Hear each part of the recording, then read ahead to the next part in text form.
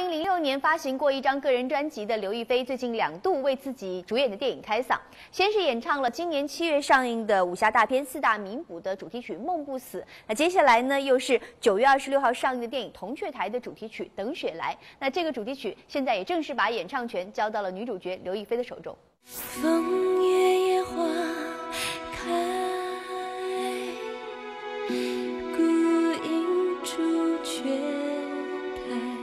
您刚刚听到的就是由刘亦菲为电影《铜雀台》演唱的主题曲《等雪来》，这也是今年继电影四大名捕之后，刘亦菲第二次为电影演唱主题曲。不过和之前与邓超、郑中基等歌手合唱不同，在这首主题曲中，刘亦菲不仅独挑大梁，还飙起了高音。